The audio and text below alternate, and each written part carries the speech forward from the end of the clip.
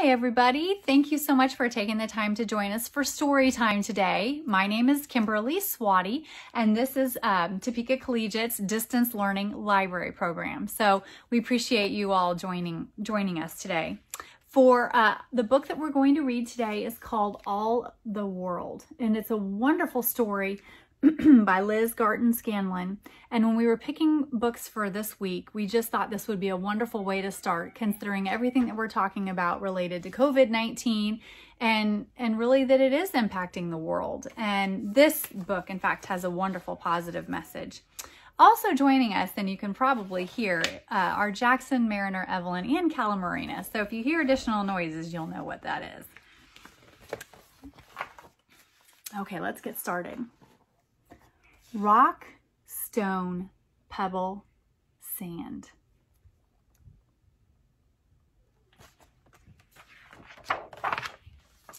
Body, shoulder, arm, hand. A moat to dig, a shell to keep. All the world is wide and deep. Oh, look at that. Isn't that beautiful? That seaside view, that cottage. Looks like there's some families and some friends going on a drive and the seagulls. Can't you just hear the waves crashing? Hive, bee, wings, hum. Husk, cob, corn, yum. Tomato blossoms, fruit so red. I love that community garden. All the world's a garden bed. Look at that, all of the tomatoes and corn. It's kind of like a farmer's market, isn't it? Beautiful. And you can see all the crops back in the in the back. Tree, trunk, branch, crown, climbing up and sitting down morning sun becomes neon blue.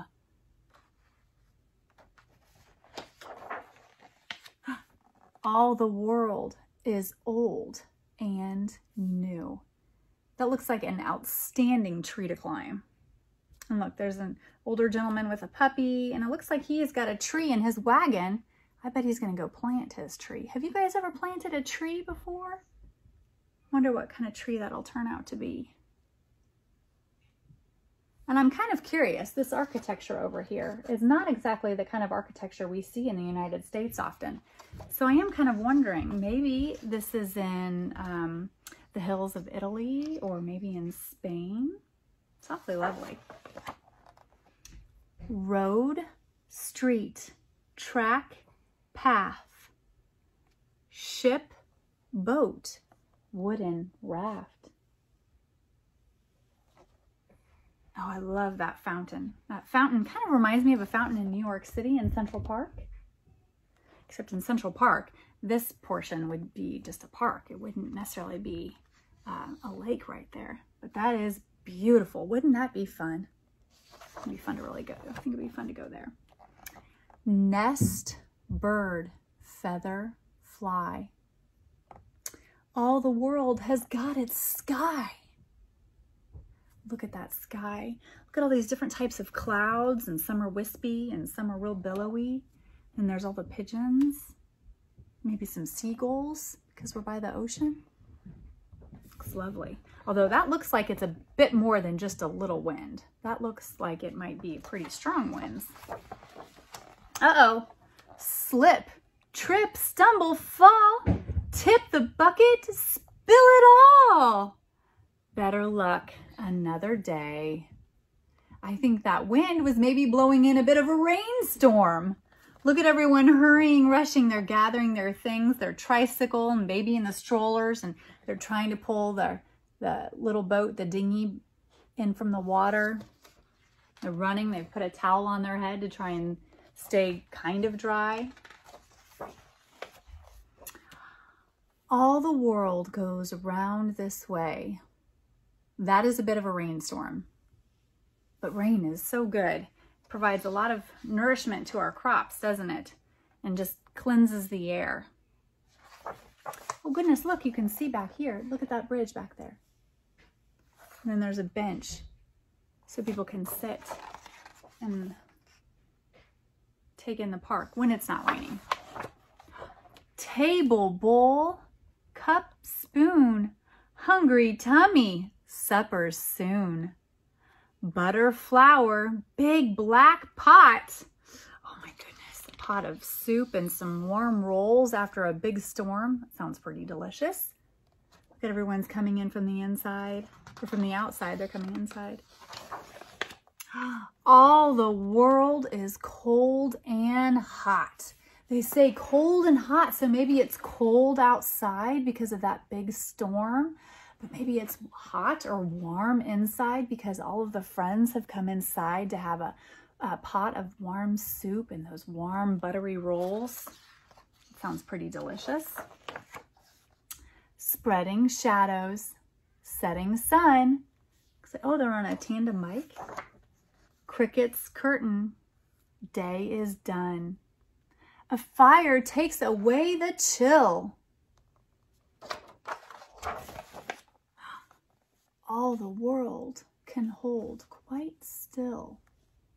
Doesn't that look peaceful? I just think that looks like a very peaceful setting. I wonder if you could hear birds. There's a man out here on the dock taking in the sunset after the storm has passed. I wonder what he's thinking about as he's hearing the waves roll in. Nana's, Papa's, cousins, kin, piano, harp, and violin. Babies passed from neck to knee. That looks like a bit of a fun jamboree all the world is you and me. Look at that. Look at the moon and the stars. And you had this wonderful celebration going on back here.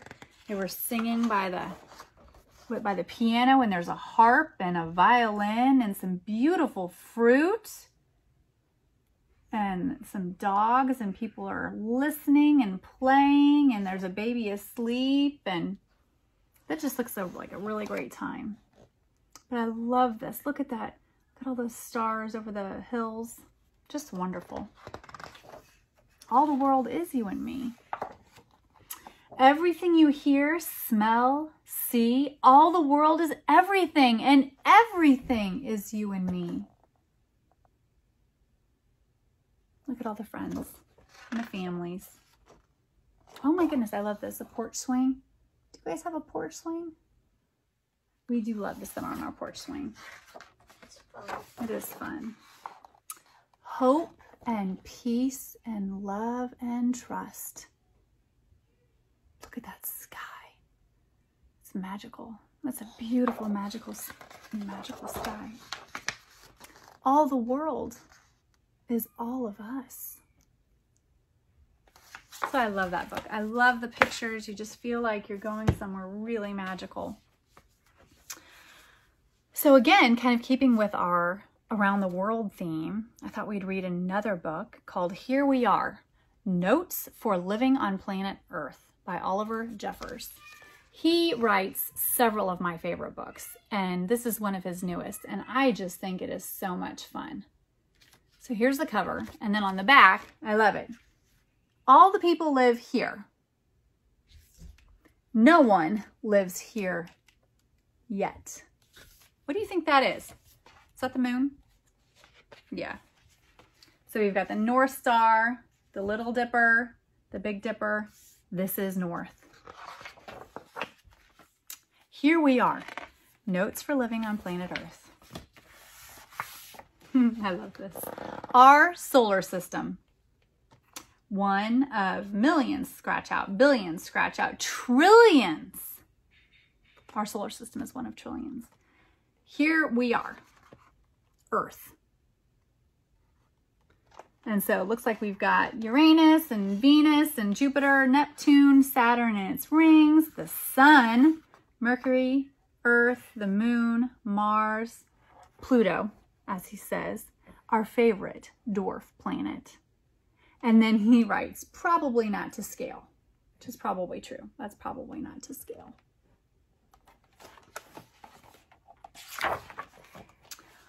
Well, hello. Welcome to this planet. We call it Earth. It is the big globe floating in space on which we live. We're glad you found us as space is very big. Us, and then 238,855 miles that way is the moon. Mars is over here. Another 140 million miles that way. There is so much to see and do here on Earth, but let's get started with a quick tour. The planet is basically made up of two parts, land and the sea. Firstly, let's talk about the land. It's what we're standing on right now. And we know lots about the land. We know volcanoes are really hot. We know it's bumpy. We know it's flat. We know some places are dry. Some places are hot. We know some places are wet. Some places are pointy. And some places are really cold. We know that about the land. There's also the sky. Though that can get pretty complicated. I love this. The air we breathe right here, the stratus, the stratus, the stratus thingy, the outer space, the moon spins around. Sometimes the sky is blue, sometimes it's not. There's wind, there's rain, there's rainbows, there's clouds, there's snow, there's lightning, storm clouds. So our atmosphere, there's stars, constellations, the Milky Way. We know that this, uh, we spin around the sun. We know there's other planets, so there's a lot going on here. So, okay, we're going to move on. On our planet, there are people like you and I. One people is a person. You are a people. You are a person. You have a body, a head, some arms, a brain for thinking, a heart for pumping your blood, a belly, lungs for your breathing air, legs, gotta love the legs, and bones to take us, to hold us all together. Look after your body, look after it, as most bits don't grow back. The bits that do grow back are your nails and your hair, for the most part. Most important things for people to remember are to eat, to drink, and to stay warm. So he's eating, he's drinking, and he's staying warm by the fire.